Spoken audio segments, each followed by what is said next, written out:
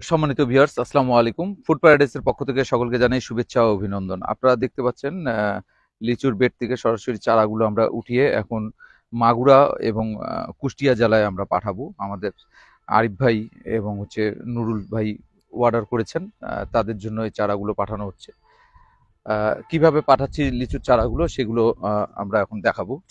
যে অলরেডি আমরা দেখেন যে এখানে আমরা লিচুর চারাগুলো উঠানো হয়ে গেছে।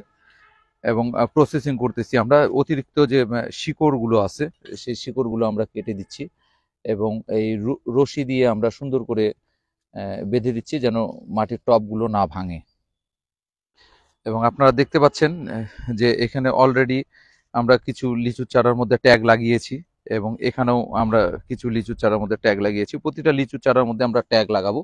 এরকম এখানে লেখা আছে, মাদ্রাজি, এখানে বেদানা এখানে দেখতে পাচ্ছেন চায়না টু চায়না থ্রি এটা চায়না থ্রি এরকম প্রতিটা প্রজাতির লিচুর চারার মধ্যে আলাদা আলাদাভাবে নাম করে দেওয়া আছে, যেন আপনাদের সুবিধা হয় আর কি চারাগুলো বেছে আপনাদের পছন্দ মতো জায়গায় আপনারা লাগাতে পারবেন।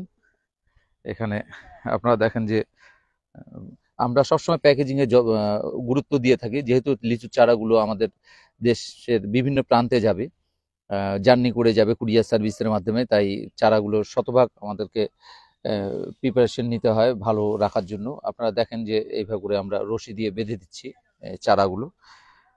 এখানে চারাগুলো বাঁধার পরে যে বস্তার মধ্যে ফাইনালি যখন আমরা ঢুকাবো তখন এরকম স্টিক লাঠির দিয়ে আমরা বেঁধে দিব যেন চারাগুলো ভেঙে না যায়।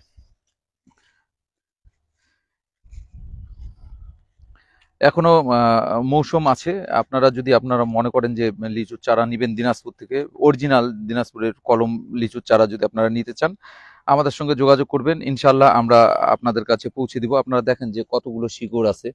অতিরিক্ত শিকড় যেগুলো আছে সেগুলো আমরা কেটে দিচ্ছি। শুধুমাত্র আপনারা টব ভেঙে গাছ লাগাবেন। বাদবাকি সব আমরা এখান থেকে প্রসেসিং করে দিব। অতিরিক্ত ডালপালা থাকলে সেগুলো আমরা ভেঙে দিব প্রুনিং করে দিব। আপনারা দেখেন যে গাছগুলো আমাদের প্রতিটা সোজা গাছ।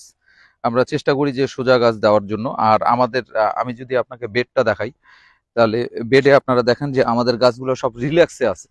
কোনো খুঁটির মধ্যে বাঁধিনি রিল্যাক্সে আছে। তাহলে গাছগুলো শাখা প্রশাখা বিস্তার পায় এবং আপনার হচ্ছে ডাল প্রশাখা যখন বেশি থাকবে, তখন আপনাদের গাছগুলো যখন আপনারা লাগাবেন খোলা জায়গায়, তখন দ্রুত বৃদ্ধি পাবে। আর প্রতিটা গাছ যদি যেরকম আপনাকে একটা, আপনাদের একটা এক্সাম্পল দিই, যে এখানে দেখেন যে এই খুঁটিটা যদি আমি এখানে বেঁধে দিই, এই- এইভাবে করে বেঁধে দিই যদি খুঁটিটা, তাহলে এই গাছটা অনেক বড় হবে। আমরা খুঁটিতে এখানে বাঁধি না বাতা দিয়ে বাঁধি না, এখানে রিল্যাক্সে আমাদের চারাগুলো বড় হচ্ছে। আপনারা যখন বাসার জন্য নিয়ে যাবেন, তখন হচ্ছে আপনারা খুঁটি সহ আপনারা প্রতিটা লিচুর চারার জন্য একটা করে খুঁটি দিবেন।